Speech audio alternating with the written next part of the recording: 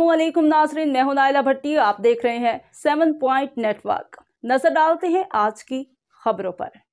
दरिया खान से हमारे नुमाइंदा मोहम्मद सुबैर की रिपोर्ट के मुताबिक खदमत खल के लिए खुदा अपने मखसूस बंदों का चुनाव करता है, जो मखलू के खुदा के लिए आसानियाँ पैदा करते हैं।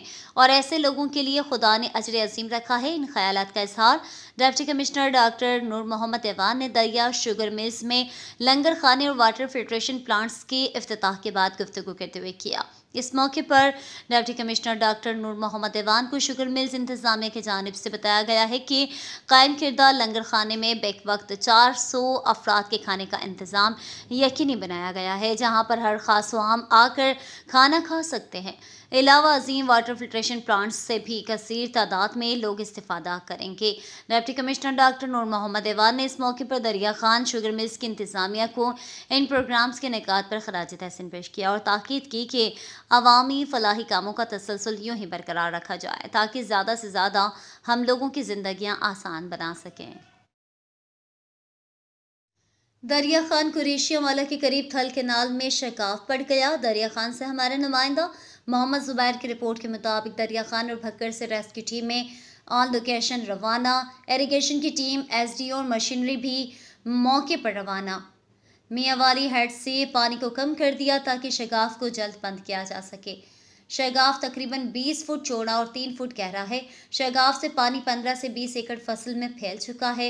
रेस्क्यू सराय पानी ने करीबी आबादी का रुख कर लिया है। कई घर मुतासर होने का खतरा जिनको दूसरे मकाम पर मुंतकिल कर दिया गया है। अहले देहा ने अपनी मदद आपसे नहर के शगाफ भरने में लगे हैं। तहसील इंतज़ामिया दरिया खान भी पहुँच गए।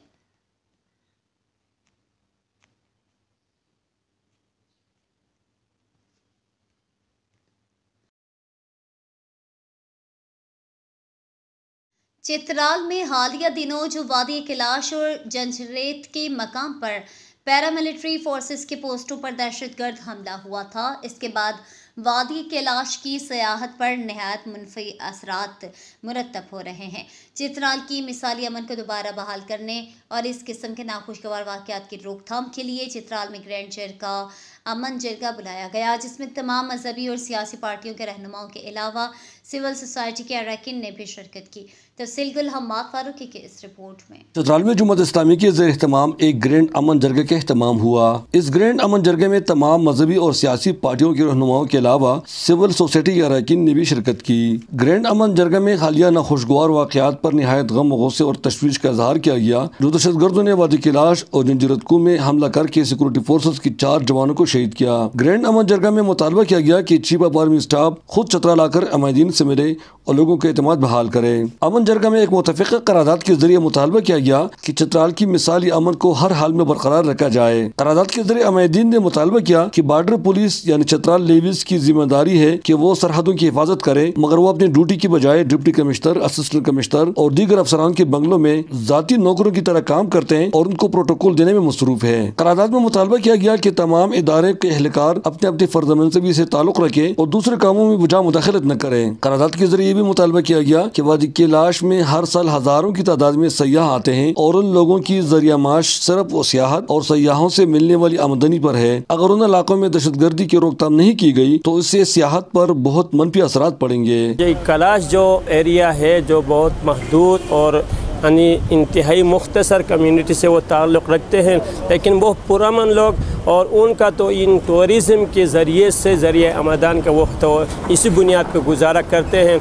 लेकिन इन हालात की वजह से, इन दहशत गर्दी की वजह से उनका जो ज़िंदगी का जो गुजारा होता था वो ख़त्म हो जाएगा। इसलिए हम हुकूमत पाकिस्तान पाक आर्मी से गुजारिश करते हैं कि भाई इन एरियो को बारिश को यानी महफूज किया जाए। उनको कबल अज वक्त जी फ़िज़ा पैदा होने से पहले, होने के बाद भी, रूनुमा होने से पहले पहले, यानी उनको ख़त्म करके इन पुरान शहरी इंतहाई, यानी सादा लोगों की, यानी जान माल की भी हिफाजत हो जाए और ज़रिए आमदान का जो टूरिस्ट ज़रिया है, यानी उनको, यानी बरकरार रखा जाए, उनको, यानी उसमें खला आने न दी जाए। करारदाद के ज़रिए मुतालबा किया गया कि चतराल में तैनात अफसरान वी आई पी प्रोटोकॉल लेने से इज्तनाब करें, ताकि आवाम में नफरत और मायूसी न पेले। हालिया नाखुशगवार वाकत के बाद लोगों ने मीडिया से बातचीत करके अपनी तशवीश का इजहार किया।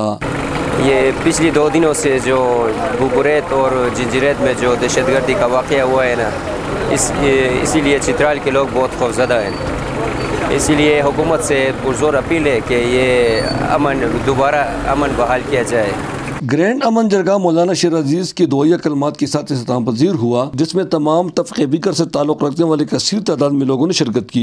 इस मौके पर उन्होंने पाक फौज और सिक्योरिटी इदारों के साथ मुकम्मल तौर पर यजीती का इजहार भी किया। ग्रैंड अमन जरगा में चित्राल के लोगों ने हुकूमत से पुरजुर मुतालबा किया की चित्राल का जो अमन का माहौल है, वो हर सूरत में बरकरार रहना चाहिए। क्योंकि वादी कैलाश में हर साल हज़ारों की तादाद में मुल्की और गैर मुल्क सयाह आता है। अगर इस कस्म की दहशत गर्दी के वाक़ रनुमा हो जाए तो यहाँ की सियाहत पर मनफी असर पड़ सकते हैं। फारूक पॉइंट नेटवर्क चतराल चित्राल का खूबसूरत इलाका बेस्ती कुदरती हसन से माला माल है। यहाँ हर तरफ़ हरियाली और साफ़ पानी के चश्मे बहते हैं, मगर यहाँ के लोग इस जदीद दौर में भी बुनियादी सहूलियात से महरूम हैं। इससे कबल यहाँ कोई मीडिया टीम नहीं गई। हमारी टीम पहले मीडिया है जो इस दूर दराज इलाके में पहुँच गई। इस इलाके में इस मौसम में खुबानी और गंदम पकने वाली है, जो नहायत दिलकश और अजीब मंजर पेश करती है। तफसील गुल हमाद फारूकी की इस रिपोर्ट में। बेस्ती वादी के रास्ते में एक खूबसूरत इलाका है। यहाँ पर हर तरफ़ साफ़ और ठंडे पानी की चश्मे बहते हैं। मौसम नहायत खुशगवार है। सतह समंदर से 9000 फुट की बुलंदी पे वाक़ होने की वजह से इस इलाके का मौसम नहायत ठंडा है। यहाँ कुदरती हुसन की वजह से यह इलाका जन्नत का मंजर पेश करता है। मगर यहाँ रहने वाले सैकड़ों लोग इस जदीद दौर में भी टेलीफोन, सेहत, तालीम मवासिलात और दीगर सहूलियात के साथ साथ बुनियादी इंसानी हकूक से भी महरूम है। यहाँ मौसम नहायत ठंडा है और अब खुबानी और सेब पक रहे हैं। यहाँ के लोग अब गंदम की कटाई कर रहे हैं। इस पूरे इलाके में कोई अस्पताल नहीं है और डिलीवरी के केस में अक्सर खातन चतराल अस्पताल ले जाते वक्त रास्ते में दम तोड़ती है। सड़क नहीं है और हमारे लिए ज़्यादा मुश्किल है। अस्पताल नहीं है। डिलीवरी के लिए अस्पताल पहुँचने से पहले लोग, औरतें मर जाते हैं और गाड़ी नहीं मिलती है सर्दियों में इस, इधर से गाड़ी नहीं चलते हैं रोड ब्लॉक होती है। ये इसलिए मैं हुकूमत से मुतालबा रखती करती हूँ कि हमारे लिए अस्पताल बना दे और हमारे लिए लेडी लेडीज़ डॉक्टर भेज दे। यहाँ की बच्चियाँ तालीम हासिल करना चाहती है मगर उनके लिए प्राइमरी स्कूल तक भी नहीं है। हमारे लिए इधर लड़कियों के लिए अलग स्कूल नहीं है। और लड़की और लड़कियाँ मिक्स हो गए इधर सबक शर्म करते हैं। कोई छोटे कोड़ी, कोई बड़े लड़के मिक्स होके वो सबक पढ़ने के लिए शर्म शर्माते हैं। इसलिए इस लड़कियों के लिए अलग स्कूल होनी चाहिए भाई। वादी बेस्ती की खुबानी सिर्फ़ और दीगर पल नहायत मिलटे और लजीज है मगर रास्ता न होने की वजह से ये बड़ी मार्केट तक नहीं पहुँच सकती और अक्सर ये पल गल सड़ कर खराब हो जाती है। सड़क नहीं होता है ये सेब है ये खुबानी है ये तमाम चीज़ जो फल है वो तो सड़ जाता है। हमारा कोई फ़ायदा नहीं होता है। ये इससे ऐसा पढ़ते हैं पढ़ते हैं वो ख़राब होती है। मारूफ माहिर तालीम डॉक्टर मिराजल ताजिक ने डोनेशन बेस पे यहाँ पे एक स्कूल की इमारत तैयार किया था, जिसे अब महकमा तालीम को हवाला किया गया, मगर इस मिडल स्कूल में भी सिर्फ़ तीन इस है। तो इधर का मसला ये है सर मेन मसला हमारा जो टीचर्स का है। टीचर का यह है कि टीचर मुकम्मल तौर पर हमारे पास जो स्टाफ है, वो नहीं है। जो लोकल दो तीन टीचर है, वो इस वक्त प्रेजेंट है और बच्चों को इस वक्त पढ़ा रहे हैं हम। ये खूबसूरत इलाका अभी तक हुक्मरानों के साथ साथ मीडिया की नज़रों से भी उजद रहा। हमारी टीम पहली बार जब इस इलाके में पहुँचा तो इलाके के लोगों ने शिकायत के अंबार लगा दिए सारा किस पास उन्हीं के वास्ता सारा किस पास बोय है मोटर आदि थी आलू सी आलू को स्पत फ़ायदा बोय है हुकूमत को रसपत की इस सारा को शैली को साफ़ जेर जे बोले ना सर यह हमारा जो ये खुबानी जो है अच्छी तरह से पकती है। हमारा गाँव में है, लेकिन इसको सुखाने के वक़्त यह हमारे साथ कोई मशीन नहीं है। अगर मशीन हो जाएगा, ये सफ़ा खुबानी, वो सूख जाएगा, फिर हम बेचने के लिए भी बाज़ार में लेके जाएँगे, फिर इस लोग, इसको अच्छी तरह से ख़रीदेंगे। ये रोड नहीं है। रोड में आगा पका हो जाएगा, गाड़ी इधर पहुँच जाएगा, मार्केट वाला भी इधर आएगा। ये हमारा गाँव हमारा घर के सामने ये आ जाएगा। इस पूरी बस्ती में इंटरनेट की सहूलत न होने की वजह से नौजवान तबका और खासकर तोलवा तालिबात दुनिया से भी बेखबर है। वादी बेस्ती के लोग हुकूमती इदारों से मुतालबा करते हैं कि उनको बुनियादी सहूलियात और इंसानी हकूक फराहम किए जाए ताकि उनकी ज़िंदगी में भी आसानी आ सके। खूबसूरत वादी बेस्ती के अवाम अभी तक बुनियादी हकूक़ से महरूम है। ये लोग हुकूमती इदारों से पुरजोर मुतालबा करते हैं कि उनको बिजली, सेहत, तालीम और सड़कों की जैसे सहूलियात फराहम की जाए ताकि उनकी ज़िंदगी में भी आसानी आ सके। अहमदाजुल की सोन पॉइंट नेटवर्क, चतराल। कराची से खबर शामिल करते हैं, काशिफ अहमद फारूकी की रिपोर्ट। स्पोर्ट्स फॉर ऑल और यंग प्लेयर स्पोर्ट्स एकेडमी के सर अहतमाम। Inter school under 16 futsal tournament का इनका किया गया। टूर्नामेंट में 16 स्कूलों की टीमों ने शिरकत की। टूर्नामेंट का फाइनल हैप्पी प्लस स्कूल और सैनिट पैट्रिक स्कूल के दरमियान खेला गया। जो बासानी हैप्पी प्लेस ने दो के मुकाबले चार गोल से शिकस्त देकर विंग ट्रॉफी अपने नाम की फाइनल के अख्ताम पर मेहमान खसूसी सलमान फ़ूड के सीईओ मोहम्मद सरफराज खान ने कामयाब खिलाड़ियों में नामात तकसीम किए और इनके हमरा मोहम्मद बसर सिद्दीकी, तारिक अली, जेबा इम्तियाज़, माहिर यूसुफजई मुसद्दिक हुसैन और दीगर शख्सियात भी मौजूद थे। इस मौके पर मेहमान खसूसी मोहम्मद सरफराज खान का कहना था कि फुटसाल का खेल पाकिस्तान में बहुत ज़्यादा मकबूलियत हासिल कर रहा है। फाइनल के अख्ताम पर मेहमान खसूसी ने जीतने वाली टीम में सर्टिफिकेट और ट्रॉफी तकसीम किए।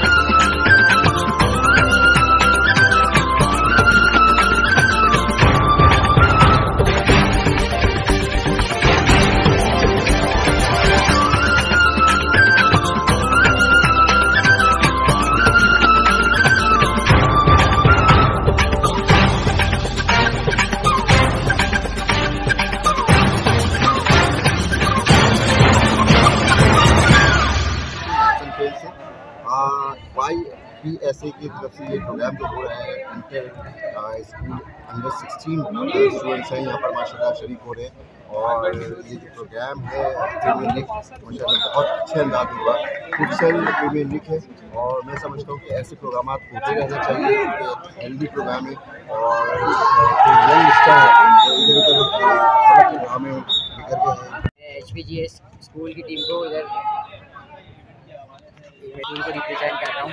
माशाल्लाह से हमने यहाँ पे सेमीफाइनल क्वालिफाई कर लिया। अभी फाइनल्स में गए, बहुत मज़ा आ रहा है। हमारी यही गुजारिश है कि इस तरह के इवेंट्स होने चाहिए, ज़्यादा बच्चों को और मौका देना चाहिए। हमारे फाइनल्स में आने का जो क्रेडिट है वो हमारे कोच सर रहमत पे ज़्यादा है। उन्होंने हमारे पीछे बहुत मेहनत की है। उन्हीं की वजह से आज हम इस मुकाम पर तमाम कोचेस बहुत अच्छे से यहाँ कर रहे हैं। इसी तरह अगर और इवेंट होते रहेंगे तो आगे हम यंग जनरेशन के लिए बहुत अच्छा और शाहिद भाई का। कि ऐसी फ़िज़िकल सरगर्मियाँ जो है वो हमारे मुल्क में जारी रहनी चाहिए। क्योंकि आप इस तरीके से जानते हैं बच्चे आजकल सारे मोबाइलों में इंगेज हैं और फ़िज़िकल कोई एक्टिविटी नहीं होता। तो मैं अप्रिशिएट करता हूँ, पहले तो बहुत ज़्यादा। और इस तरीके की सरगर्मियाँ जो है वो माशरे में बच्चों के लिए बहुत ज़रूरी है। सबसे ज़्यादा इस वक्त जो मुल्क के हालात हैं उसमें रहते हुए, ये सरगर्मियाँ आपको याद दिलाती हैं कि ये बच्चे इस नशोनुमा के लिए, इस काम के लिए उनकी तमाम तोानाइयाँ जो है वो स्पोर्ट्स पर खर्च होनी चाहिए। तोानाइयाँ जो है वो पढ़ाई पर खर्च होनी चाहिए, ना कि ये मोबाइलों में इंगेज है तो मैं बेहतर अप्रिशिएट करता हूँ आपके इस काम को बहुत बहुत शुक्रिया आपके इन्विटेशन तो बहुत शुक्रगुजार हूँ कि आप लोग यहाँ इस इवेंट को कवर करने के लिए आए ये फुटसल का under sixteen inter school tournament हो रहा है, जिसको कि स्पोर्ट्स फॉर ऑल एसोसिएशन और Y T S young boys sports academy ने मिलकर ऑर्गेनाइज़ किया है, जिसमें इस वक्त सोलह टीमों ने हिस्सा लिया और रजिस्ट्रेशन क्लोज होने के बाद भी बहुत सारी टीमों ने हमसे अप्रोच किया, लेकिन चूँकि वक्त की कमी की वजह से हम उनको इंटरटेन नहीं कर पाए। और अब इसका आज यहाँ सेमीफाइनल और फाइनल है, जिसमें बच्चे बहुत ज़्यादा एक्साइटेड हैं और चूँकि आज पाकिस्तान और इंडिया का मैच भी है तो बच्चों की कोशिश ये है कि जल्द से जल्द ये टूर्नामेंट वाइंड अप हो और फिर वो जाके पाकिस्तान और इंडिया का मैच इन्जॉय करें। लेकिन मैं समझता हूँ कि इसमें इस तरह से बच्चों का ओक़ और शौक देख के हमें बहुत खुशी हो रही है। जो हमारा मोटिव है कि हम चाहते हैं कि ग्रास रूट पे काम करें और हम एक अरसे से ग्रास रूट पे काम कर रहे हैं। और जैसे कि आप लोगों से पहले भी हमने वादा किया था कि हम मुस्तकिल इवेंट कराते रहेंगे और अलहमदिल्ला हम करा रहे हैं और हमारे साथ और लोग भी शामिल हैं और वो लोग भी बहुत एक्साइटेड है। वाई वालों का भी बहुत शुक्रिया। और जितने भी लोग यहाँ जिन्होंने काम किया मिलके, पूरी टीम का मैं बहुत शुक्रगुजार हूँ। और आखिर में आप लोगों को भी बहुत शुक्रगुजार हूँ कि आप हमारे हर इवेंट में आते हैं और बच्चों को इनक्रेज करते हैं। बच्चे ये समझते हैं कि इनको अगर दिखाया जाएगा और टीवी पर उनको कवरेज मिलेगा तो इन एक दिन ये भी हमारे स्टार होंगे। अब तक के लिए इतना ही। मजीद खबरों से बाखबर रहने के लिए देखते रहिए सेवन पॉइंट नेटवर्क।